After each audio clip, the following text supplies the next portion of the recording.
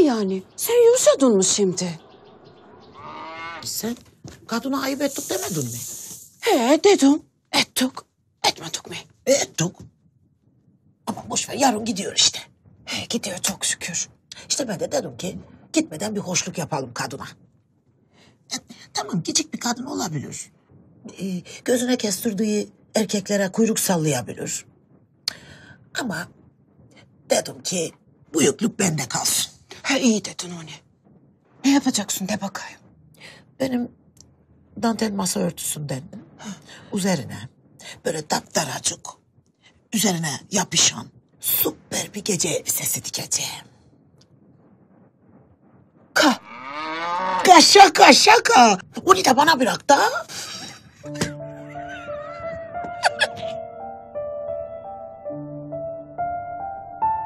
Hayriye Hanım'la konuşabildiniz mi? Biliyorsunuz vaktimiz daralıyor. Ben size söyledi. Onlar kafalar bozuk bugün. Hem ben yarın gidiyor biliyorlar. Birden söyleyemez. Ee, nasıl olacak peki? Sorun olmayacak mı? Ali senle bugün ahbaplık ilerletti ben. Eminim yarın bu iş olacak onun yardımıyla. Merak etmeyin. Tamam. Ama eğer halledemezseniz başka yollara başvurmak zorunda kalacağız. Haberiniz olsun. Başka hiçbir şey gerek yok. Okay? Relax.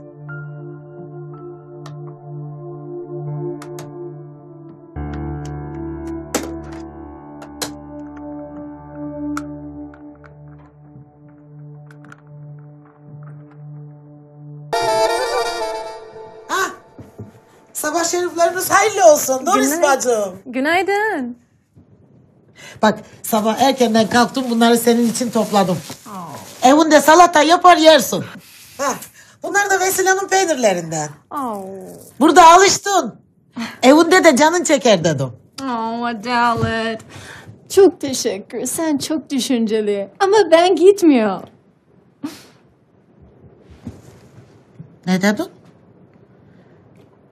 E, biletin, uçağın, uçak, tiket. Nope. Hop memleket. No, bilet Ne? iptal. Ben burada kalacak, ev yapacak. O da nereden icap etti? Oh, Ali sen icap etti. No, pardon, e, icattı, öyle değil. Ha, neyse, Ali sen bana dedi, sen burada yerleş. Ben de dedim, ha, olur mu ki? E, doğru demişsin olur mu ki? Ama ben sonra düşündüm Adalet, ha, ben emekli. Aile yok, koca yok, ha, hiç kimse yok. Burada hava güzel, burası güzel, her şey güzel, yeşil güzel, insanlar güzel, hayvanlar güzel. Ben burada sizinle çok mutlu. Ha, e, biz de mutlu, biz de mutlu.